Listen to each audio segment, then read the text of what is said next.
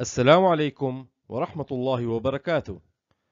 أحييكم أعزائي طلاب الصف الثامن، ونكمل معكم بإذن الله في دروس الوحدة الأولى.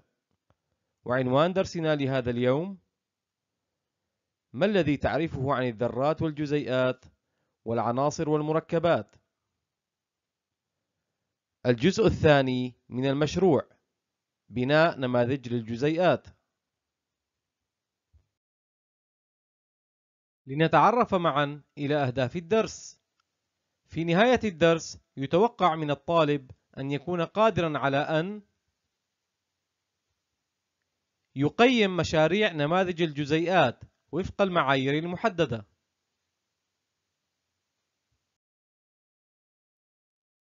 درسنا سابقا طرق لتمثيل جزيئات العناصر والمركبات ومثال عليها نموذج الكرة والعصا الآن سأطرح عليك السؤال التالي. لماذا يستخدم نموذج الكرة والعصا؟ نعم أحسنت. يستخدم نموذج الكرة والعصا لتمثيل الروابط الكيميائية بين ذرات الجزيء.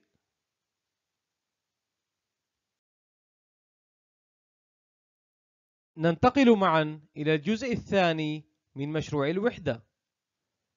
ومشروع الوحدة كما بدأنا به في الدرس السابق بعنوان بناء نماذج الجزيئات. ارجع إلى الكتاب صفحة 44 للمتابعة. وسنبدأ الآن مرحلة التقييم.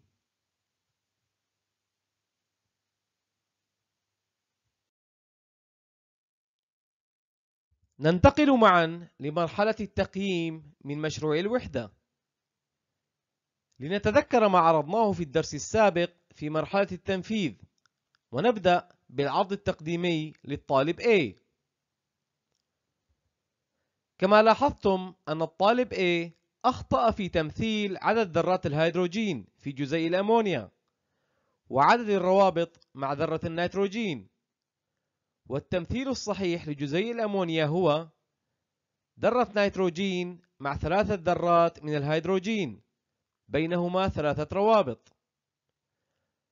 سنستخدم لتقييم هذا العرض معايير محددة يوضحها الجدول الذي أمامك. وسنعطي كل معيار منها علامة من واحد إلى أربعة حيث تمثل العلامة أربعة تقدير ممتاز. وتمثل العلامة واحد تقدير جيدا نوعا ما. وسأوضح لك كيفية إعطاء العلامات في كل معيار. المعيار الأول وهو في هذا المشروع أن يبحث الطالب حول تركيب ثلاثة جزيئات وأن يستخدم مجموعة نموذج الكرة والعصا لبناء نموذج لكل جزيء من الجزيئات الثلاثة وأن يعد عرضا تقديميا مختصرا. ولهذا المعيار ستعطى علامة أربعة كاملة إذا تم تحديد وبناء جميع الأشكال البنائية. بشكل صحيح وأيضا إذا تم تنفيذ العرض التقديمي لهذا المشروع. وإذا أخطأ في نموذج من الجزيئات تعطى له علامة ثلاثة وهكذا. ولنقيم مشروع الطالب A في المعيار الأول سنعطيه علامة ثلاثة لأنه أخطأ في عدد ذرات الهيدروجين وعدد الروابط مع عنصر النيتروجين في نموذج الكرة والعصا. الآن لنتعرف إلى كيفية تقييم المعيار الثاني وهو نماذج الجزيئات. فنرى من الجدول أن الطالب إذا استخدم جميع الذرات بألوانها الصحيحة ونفذ جميع الروابط بشكل صحيح فيستحق أربع علامات في هذا المعيار. وإذا استخدم القليل من الذرات بألوانها الصحيحة ونفذ القليل من الروابط بشكل صحيح فسيعطى علامة واحد في هذا المعيار. وسنعطي الطالب A ثلاثة علامات في المعيار هذا بسبب خطأ في تنفيذ جزيء الأمونيا. من حيث عدد ذرات الهيدروجين وعدد الروابط مع ذرة النيتروجين.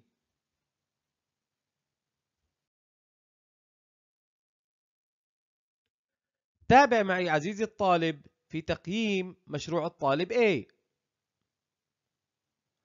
وننتقل للمعيار الثالث وهو جمع المعلومات وبناء النماذج والتفكر في تصميمها. وسنعطي الطالب أربع علامات إذا أظهر استخداما لجميع مهارات الاستقصاء العلمي. وسيعطى علامة واحدة إذا أظهر إدراكا لواحدة من مهارات الاستقصاء العلمي من دون استخدامها بطريقة مناسبة. وهنا سنعطي الطالب A أربع علامات كاملة لأنه أظهر استخداما لجميع مهارات الاستقصاء العلمي. لننتقل للمعيار الرابع وهو طريقة العرض التقديمي. وهل تم العرض بشكل واضح وموجز بحيث يسهل فهم النموذج؟ وسنعطي العلامة أربعة إذا تم شرح جميع أجزاء النماذج بوضوح. وكان الخط مناسبا والعرض مرتبا ونظيفا. ونعطي علامة أقل إذا لم يحقق العرض هذه الشروط. وفي عرض الطالب A سنعطيه أربع علامات لهذا المعيار بسبب تحقيقه المطلوب منه. وأيضا في المعيار الخامس وهو كفاءة التفكير الناقد وهل الطالب يستخدم مهارة التفكير الناقد في تصميم المشروع وتنفيذه؟ وللطالب A سنعطي علامة أربعة في هذا المعيار وكما يوضح لك الجدول فإن هناك علامات إضافية تعطى للطالب وتميز مشروعه من خلال ملاحظة تعاونه مع زملائه في المجموعات وأن يكون الطالب متقبلا لآراء الآخرين. وأيضا يشارك في المناقشة في المجموعات. ومن ثم إذا تم تسليم مشروعه في الوقت المحدد.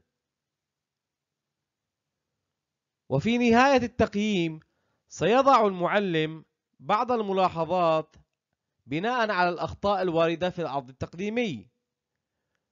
وهي لهذا الطالب أنه يجب الانتباه عند تحديد الشكل البنائي للجزيئات وتنفيذ الروابط بشكل صحيح.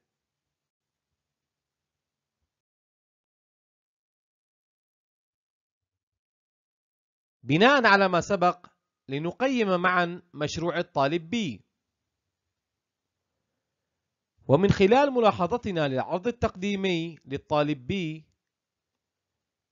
نرى أنه في المعيار الأول تم تحديد جميع الأشكال البنائية للجزيئات الثلاثة بشكل صحيح.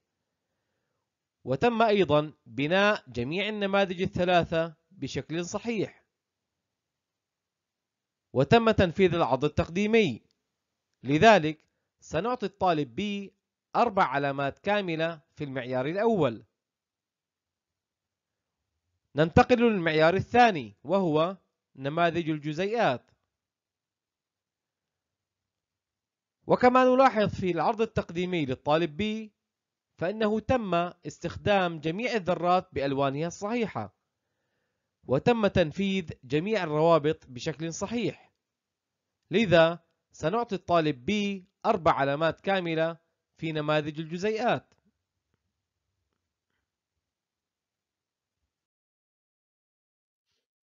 تابع معي في تقييم مشروع الطالب B ننتقل للمعيار الثالث. لقد أظهر الطالب B استخداما لجميع مهارات الاستقصاء العلمي المطلوبة منه. لذا استحق أربع علامات في هذا المعيار.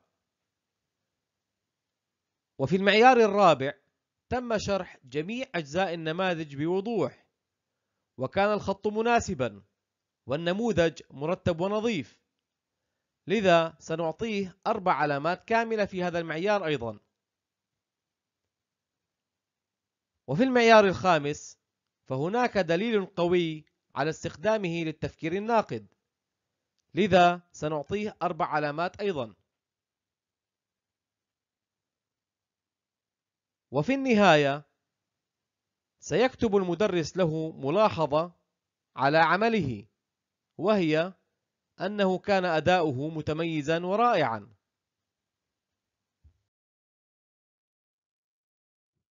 هيا بنا معا لنقيم مشروع الطالب C.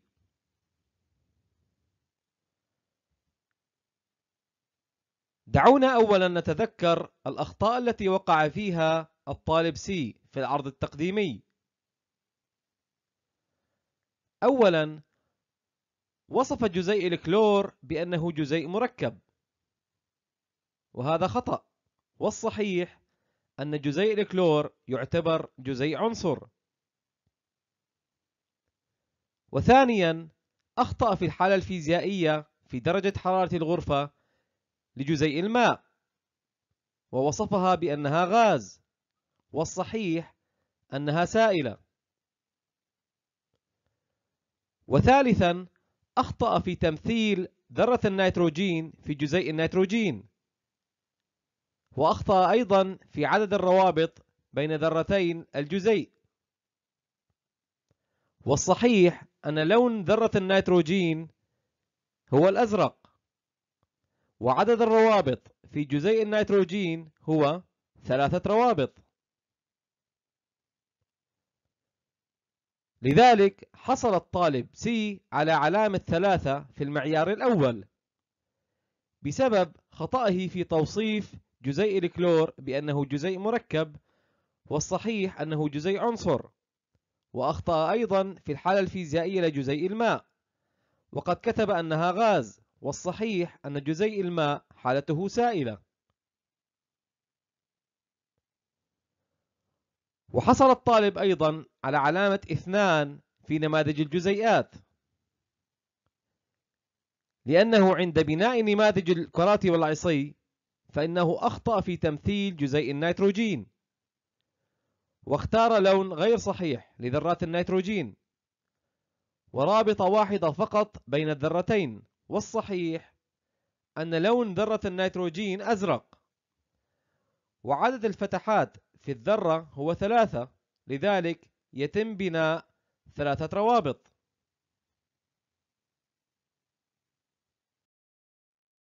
تابع معي في تقييم مشروع الطالب سي. وننتقل للمعيار الثالث. أظهر الطالب سي استخداما لمهارة أو مهارتين من مهارات الاستقصاء العلمي. لذا استحق علامتان في هذا المعيار.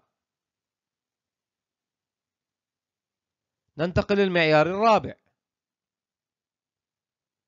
ونرى أنه تم شرح معظم أجزاء النماذج بوضوح وكان الخط مناسبا. وأيضا النموذج مرتب ونظيف. لذا سنعطيه ثلاثة علامات في هذا المعيار. وفي المعيار الخامس أظهر الطالب دليلا متوسطا على التفكير الناقد. لذا استحق ثلاثة علامات في هذا المعيار. وسنكتب له هذه الملاحظة بناء على أخطائه في العرض وهي أنه يجب الانتباه عند تحديد الشكل البنائي للجزيئات وتنفيذ الروابط بشكل صحيح والتخطيط جيدا قبل تصميم النموذج. وجمع معلومات صحيحة عن نوع الجزيء.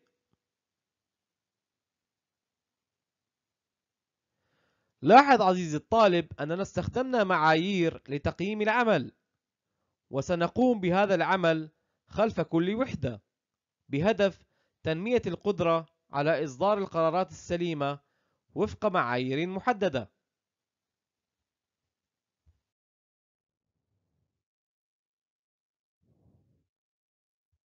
مع تمنياتي لكم أعزائي الطلاب بالتوفيق والنجاح.